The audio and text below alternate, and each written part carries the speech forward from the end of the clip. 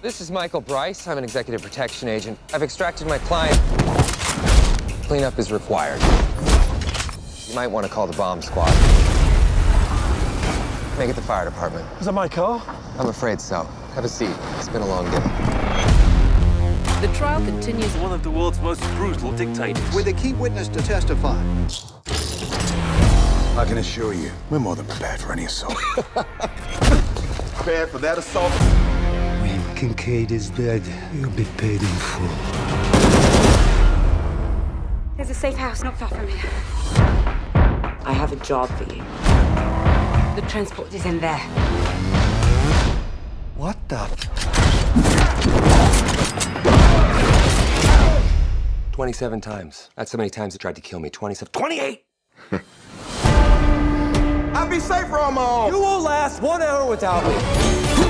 Tell us where your husband is. You lost my husband? Do you have any idea how stupid you sound? The only way Bryce and Kincaid don't make it so they kill each other first.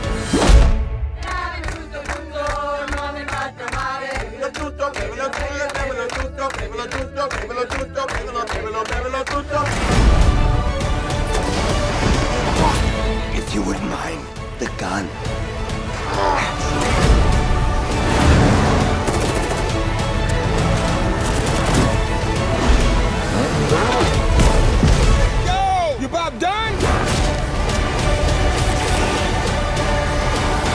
Okay, on three. One. My bad. You're bad. Go with God. This man's killed over 150 people. 250, easy.